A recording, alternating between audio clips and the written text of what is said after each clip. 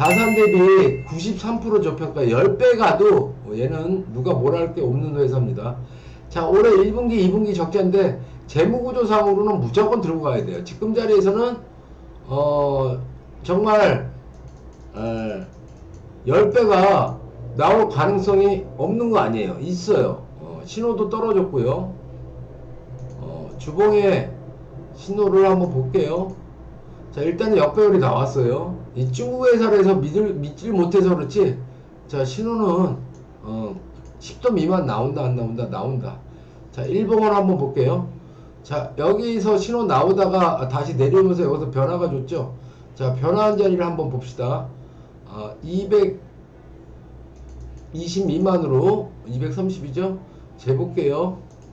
자, 이 자리에서부터 이렇게 뚝 떨어지고 이 자리에서부터 다시 변했어요. 몇 도? 5도. 자, 5도인데 이 자리에서 지금 음, 횡보를 하고 나, 나오, 오고 있죠. 그냥 들고 가세요. 어, 이거 10배 나올 수 있어요. 어? 어. 골든 센츄리 900원까지 올라갈 가능성이 있어요. 1차적으로 어, 여기는 가니까 어?